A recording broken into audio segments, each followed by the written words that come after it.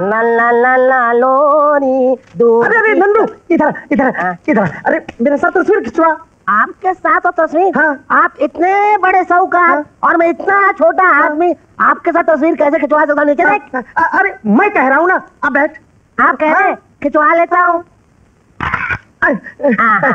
सुन सुन हाँ। तुझे मालूम है कि मैंने तेरे साथ तस्वीर क्यों खिंचवाई? मालूम है। क्योंकि आप अमीरों और गरीबों में कोई फ़र्क नहीं समझते। आप महान है इसलिए। वो तो मैं हूँ ही लेकिन खास वजह यह है कि इन दोनों की तरह तूने भी मुझसे कर्जा लिया है। हाँ, हाँ, हाँ। दस हज़ार रुपए। हाँ, हाँ, हाँ। अगर तू कर्जा न चुका सका हाँ। और भाग गया तो मेरे पास कोई सबूत तो होना चाहिए। हाँ तेरी तस्वीर होगी तो पुलिस को तुझे ढूंढ निकालने में आसानी होगी। समझ गया। तेरे को कीड़े पड़ेंगे लाले समझ गया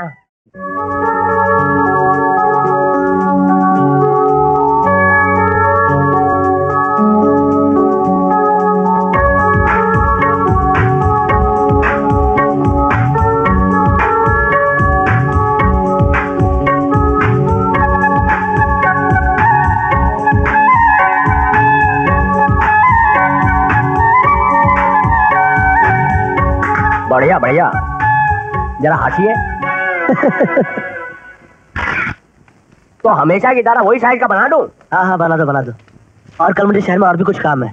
तस्वीर तैयार रखना मैं कल ले जाऊँगा। अच्छी बात है।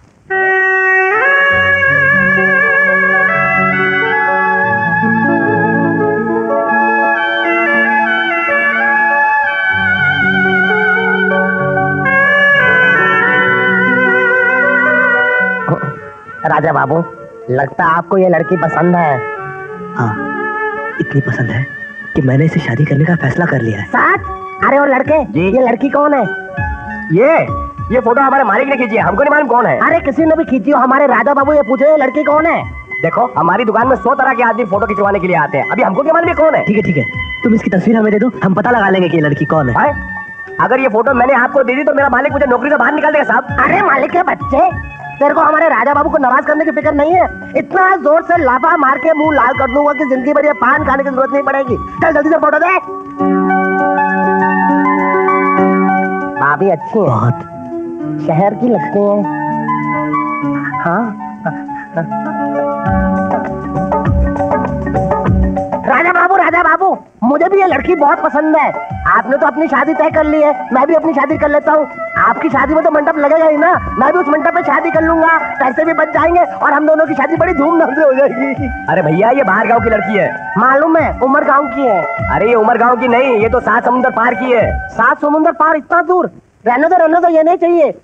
लेकिन ये क्या? आप लोग अपनी दुकान में साफ़ सफ़ाई नहीं रखते? देखते नहीं कितनी धूल जमी हुई है। बेचारी कीचड़ में फंस गई है। मैं निकालता हूँ। निकल निकल। हाँ, फ़ोटो है। कैसे निकलेगी? अच्छी है। छत्तीस चौबीस पच्चीस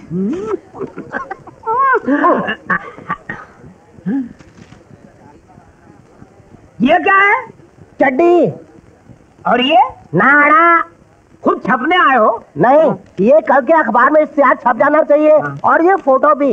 हम्म दोनों छपेंगे छपेंगे ये उसका पैसा। हम्म ये दोनों छपेंगे तू सुन। हाँ। चड्डी और नाड़ा लेके निकल पड़। हाँ? खुला खुला देखता है। पूरी पैंट पहन के आया कर। चल चल संभाल के जा। ये छाप देना। तू संभाल के जा। संभाल चड्डी। अरे नंदू ये ऊपर लापता लिखवा के ये नीचे इनके बारे में सब क्या लिखवा दिया तूने? ये लड़की पागल है। अपने चाचा को नोच कर घर से भागी है। और जिसे भी मिलेगी सूचित करने वाले को दस हज़ार रुपया इनाम। ये लिखा है इसमें। ये पागल है? ये पागल है? अरे पागल ये नहीं पागल तू है। जिस लड़की को मैं अपनी अर्धांगिनी बनाने की सोच रहा हूँ उसे पागल कहकर उसकी इतनी बड़ी तस्वीर छुपा दी। अरे सब तूने क्यों किया राजा बाबू अखबार में जो भी इसकी तस्वीर देखेगा और इसको जानता होगा इनाम के लालच में इसका पता हमें ज़रूर बताएगा। समझते नहीं है। अरे पागल अगर अखबार किसी और से पहले इसने पढ़ लिया तो मेरा क्या होगा? राजा बाबू नीचे देखिए। नीचे इधर नहीं अखबार में। पता हमारा नहीं है। पता है लाला सुखी राम का जो भी होगा उसका होगा। जूते पड़ेंगे उसको पड़ेंगे। समझते नहीं है आप? लाला का पता नहीं हाँ। मगर तूने ऐसा क्यों किया? उसका फ़ोटो खिंचवाने का बहुत शौक था इसलिए। क्या मतलब? राजा बाबू आप इसका मतलब समझेंगे नहीं। मेरी और उसकी बहुत पुराने दुश्मनी है। बस आप देखिए दो दिन के अंदर अंदर हमें लड़की का पता कैसे मिल जाएगा?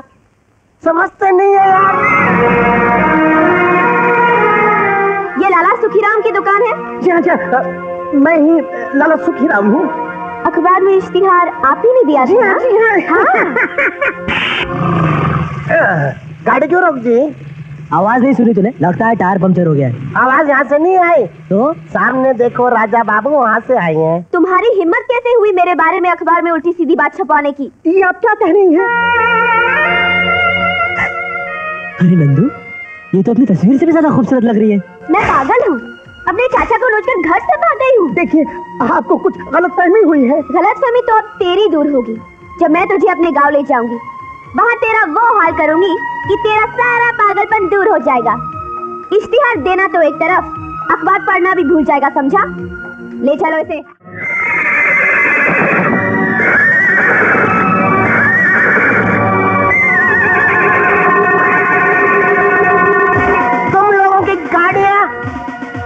हमने रोक ली है। अगर तुम में से कोई भी मत का बच्चा है तो अपनी गाड़ी हिला के दिखा दे। ए,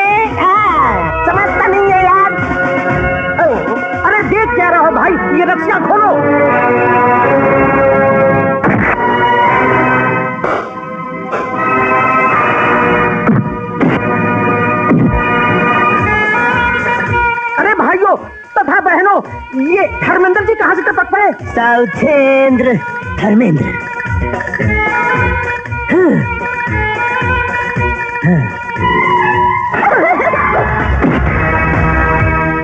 मोटे पेट वाले लाला, तेरा मुँह काला। और मैं सुना तू उधार लेने वालों की फ़ोटो खींचता। है तुझे कैसे मालूम? मेरा नाम है, ना नन्नू, ना। मोटे हराम का खाकर भेटा हो गया खाता आप इनके साथ जाइए, मैं इनके साथ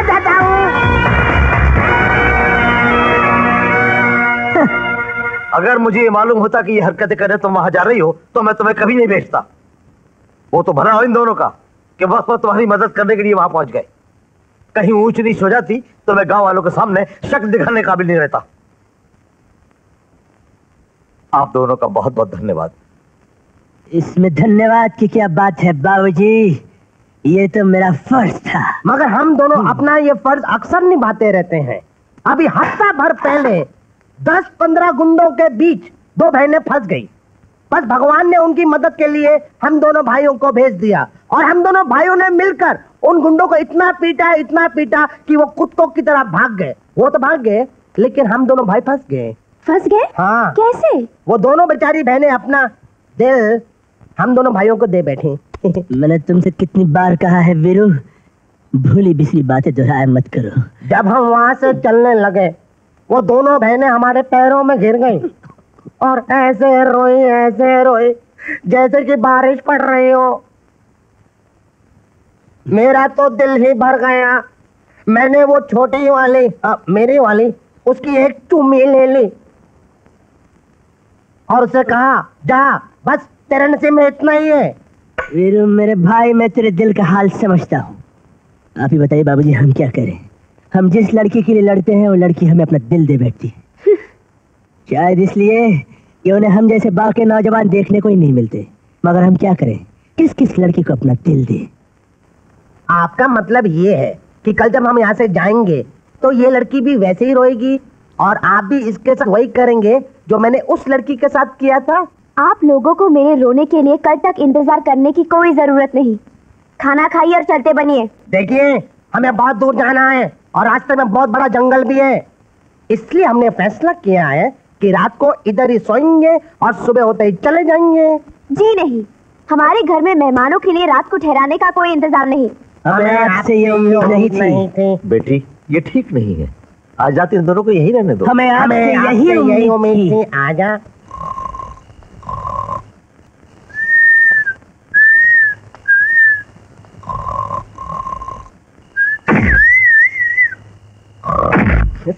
कौन है? मेरी यहाँ नींद उड़ी हुई है। और तू चंद्र खुराटे ले रहा है? आप ही ने तो कहा था कि रात भर यहाँ पर सोएँगे और सुबह उठते यहाँ से चले जाएँगे। वो तो यहाँ पर रुकने का एक बहाना था ताकि मैं रात भर उसे जी भर के देख सकूँ। और उसे कितना देखोगे राजा बाबू? जब से आप इधर आए हो उसी को तो देख रहे हो। क्या करूँ? मेरा जी नहीं भरता। ठीक है उसका भी इंतज़ाम कर देता हूँ। नंदो और कबंदो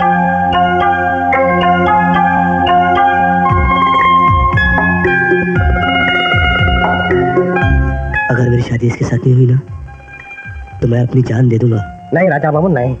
अगर भगवान ने चाहा तो आपकी शादी इसी के साथ होंगी। अब देखिए। वो भी मुस्कुरा रही है। अरे मगर ये मुस्कुरा क्यों रही है? मुझे लगता है ये आप ही का सपना देख रही है। अच्छा सपने में क्या देख रही होगी? ये सपने में आपको बुला रही हैं। टूट गया अरे अरे जरा संभल के। अच्छा अब आप लोग हाथ मुँह धो के तैयार हो जाइए। मधु ने आपको बाहर बुलाया है। आप चलिए हम आते हैं। राजा बाबू हाँ। भाभी का नाम मद्दू है। हम्म। मधुबाला। अच्छा तो हम चलते हैं। जा रहे हैं नमस्ते। कभी इधर से गुजर हो तो आइएगा। ज़रूर आएँगे। अगर इधर नहीं आएँगे तो किधर जाएँगे? नमस्ते। लगता है ये कुत्ता मैंने पहले कहीं देखा है। अरे चुप ये तुम्हें काट चुका है वीरू। इससे मेरा कोई झगड़ा नहीं। फिर भी इश्तिहार देकर मुझे बदनाम किया। देखिए मैं आपसे कहता हूँ कि आपको फिर कोई गलतफहमी हुई है। चुप।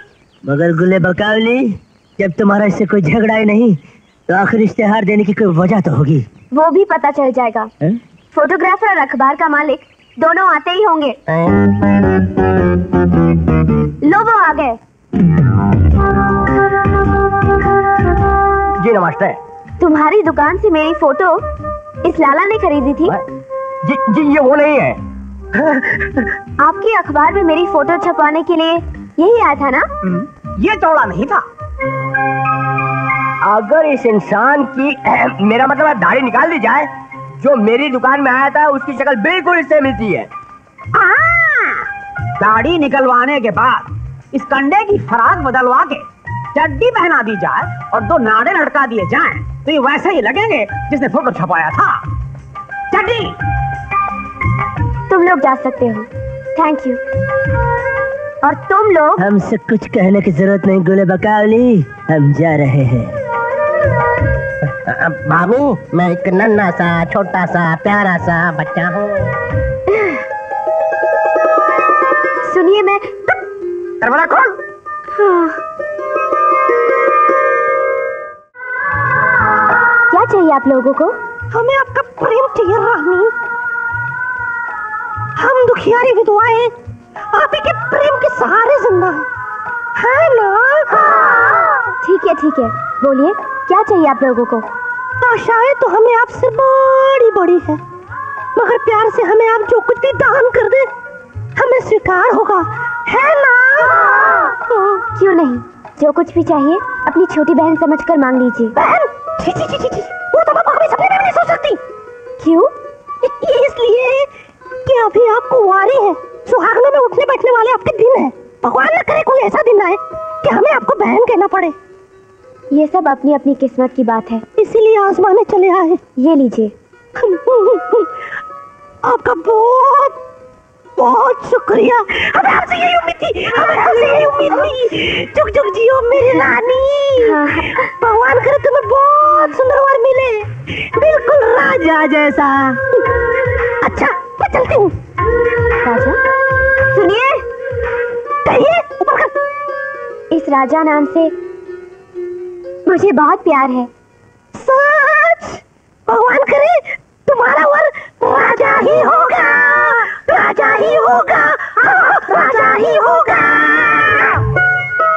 आशीर्वाद के लिए मैं आपको कुछ और देना चाहती हूँ। ले ले। दे दे। पता नहीं लड़की विधवाओं पर हाथ उठाती हो। राजा की आएगी बारात। पूजा निशा कमन मगर मैं।